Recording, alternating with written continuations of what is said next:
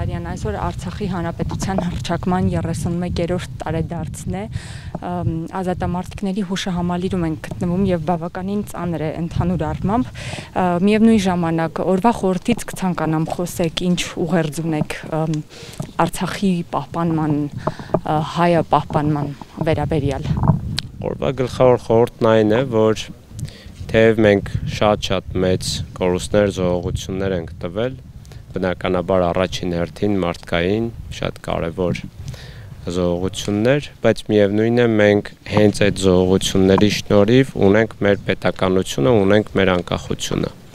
Եվ գլխավոր խորհուրդն այն է, որ դա պետք է շարունակվի։ Այս զոհերը, այս տղաների թափած արյունը իզուր չի եղել եւ այն արժեքները, որոնց համար նրանք իրենց կյանքը տվել են, նույն արժեքների համար մենք պետք է մեր կյանքը շարունակենք եւ այդ արժեքների բարձրագույնը հենց անկախությունն է ու պետականությունն է որպեսի parberabar մենք այսօր Արցախում նշենք այս պահի դրությամբ ինչ պետք է անենք իրականում յուրաքանչյուր ոք, եթե իր աշխատանքը լավ կատարի եւ երկարաժամկետ ռազմավարական մտածողությամբ կատարի, մենք միշտ էլ կկարողանանք այսօրը նշել Արցախում եւ տարեց տարի կկարողանանք ավելի ամուր ու ավելի կանգուն Արցախում նշել սակայն այս պայմաններում բնականաբար մեզ համար ողջախոհությունը, ռազմավարական մտածողությունը եւ ազգային մտածողությունը շատ կարեւոր է արցախցիների հետ եմ մի քանի արցախցիների հետ եմ հասցրել շփվել այս երկու օրվա ընթացքում կարծես թե անորոշությունը շատ-շատ է այսպես են արտահայտում որ չգիտեն թե օրինակ վաղը իրենց հետ ինչ կլինի ընդհանուր առմամբ ինչպես են այսպես տրամադրությունները հիմնական վախը ո՞րն է արցախցիների իրականում անորոշությունները այո շատ են մի մասը հիմնական մասը օբյեկտիվորեն եւ մի մասը սուբյեկտիվորեն այդ առումով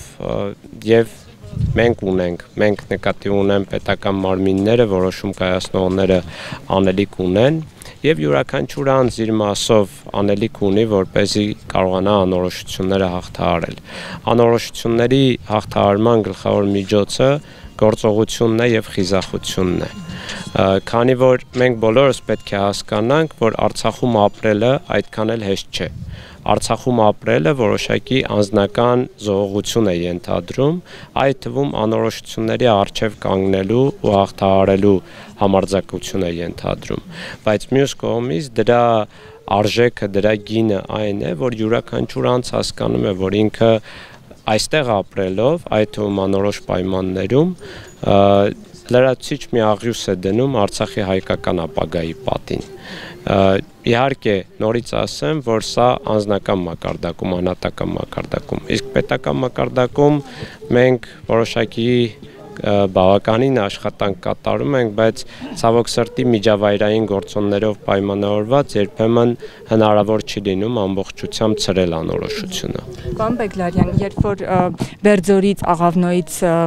մարդիկ պետք է հեռանային եւ արդեն տարածքները լքեին, տեղյակ ենք, որ մարդկանց մեծամասնությունը նախընտրել է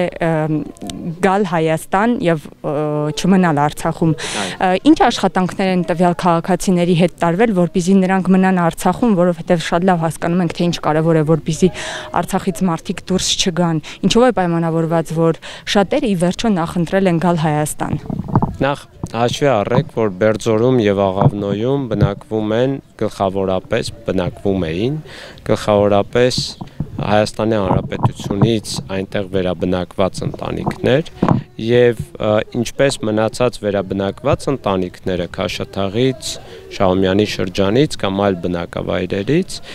հիմնական մասը նախընտրել են Հայաստանի Հանրապետությունում բնակվել ու բնակարան ստանալ Հայաստանի Հանրապետության կառավարության ծրագրի շրջանակներում։ Շատ քչերն են ոչ միայն Բերձորից ու Աղավնոյից, այլ նաև մնացած բնակավայրերից, որ ցանկանում են Արցախում բնակվել։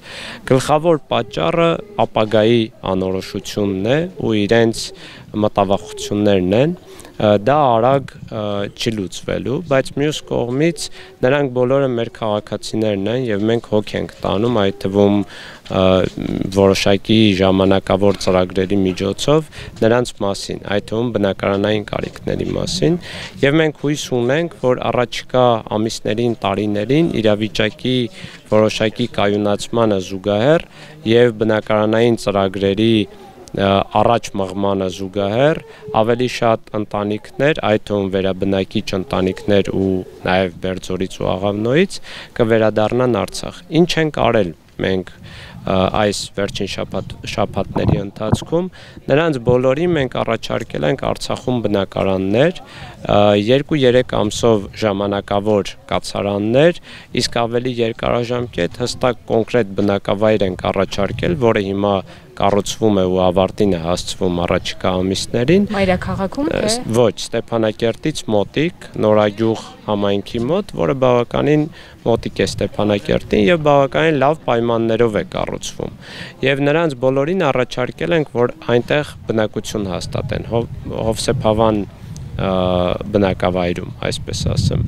բայց մի քանի ընտանիք է դեռևս ցանկացել, սակայն ես վստահ եմ, որ առաջիկա ամիսներին որոշ ընտանիքներ եւս կվերադառնան Արցախ։ Հիմա այդ տարհանվածները ժամանակավորապես կաց ժամանակավոր կացարաններում են բնակվում։ Այո, պետության կողմից ապահովված մի մասին տրամադրում ենք բնակվարձի գումար, մի մասին ուղակի պետության կողմից վարձակալված բնակարաններում կամ հյուրատներում տեղավորել ենք։ Այսինքն ամեն դեպքում մենք մեր տեղահանված քաղաքացիներին միայնակ չենք թողնում իդեպ ոչ միայն Արցախի տարածքում, այլ նաև վերջերս մեկնարկած նախագահի կողմից հայտարարված, հանձնարարված ծրագրի շրջանակներում արդեն սկսել ենք վճարել բնակվարձի գումար, անկախ այն հանգամանքից, թե արդյոք նրանք Հայաստանի Հանրապետությունում, թե Արցախի Հանրապետությունում են բնակվում, բոլոր տեղահանված ընտանիքների համար, որոնք սեփական տանիք չունեն եւ ժամկետներ կնշվեք, կնշեք թե օրինակ Չէ, ժամկետներ կնշեք թե օրինակ նրանք երբ արդեն կարող են այդ բնակարանները ստանալ։ Նրանք նկատի ունեք Բերձորից ու Աղավնոյից տարամասները առաջիկա երկու ամսվա ընթացքում կարող են ստանալ, այսինքն շինարարությունը արդեն ավարտական փուլում է գտնվում եւ ձեր թույլտվությամբ եւս մեկ հարց տամ կապված Փաշինյան-Ալիև հանդիպմանը հանդիպումից անմիջապես հետո թե Հայաստանի կառավարությունը թե Եվրոպական խորհրդի նախագահը հայտարարություններով հանդես եկան սակայն երկու հաղորդագրությունում էլ Լեռնային Ղարաբաղի մասին ոչ մի խոսք չկա ձևակերպումներ անգամ չկան սա ինչպես կմեկնաբանեք էլի արդյոք մտահոգիչ է թե ոչ Ադրբեջանա-Ղարաբաղյան հակամարտությունը չի կարգավորվել եւ չի կարգավորվելու, քանի դեռ քանի դեռ Ադրբեջանը կառուցողական վարկ չի դրսևորում, հակառակը ռազմատենչ ու հայատյաց քաղաքականություն է վարում այս պայմաններում ես չեմ տեսնում հերանեկարը արագ կարգավորման եւ ցանկացած իրավիճակում ես կարծում եմ որ բոլորս պետք է առաջ մղենք Արցախի ժողովրդի ինքնորոշման իրավունքի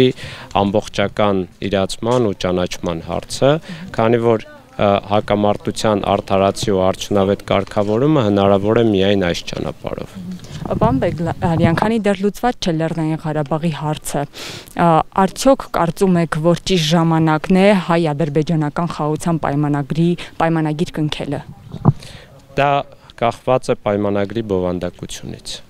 մնացածը չեմ կարող ես ինքս մեկնաբանել։ Դե եթե հաշվի առնենք, որ Լեռնային Ղարաբաղի մասին ընդհանրապես ոչ մի խոսք չկար այդ հայտարարությունում կամ էլ խաղաղության պայմանագրի հետ կապված, ստացվում է, որ կարծես թե Լեռնային Ղարաբաղի հարցը անտեսված է։ Իրականում հայտարարությունը մեկ դրվագն է, դրա համար ես ասացի կախված է պայմանագրի բովանդակությունից։ Իսկ պայմանագրի նախագիծը կարծես թե դեռևս արկա չէ։ Ա Այո, շնորհակալ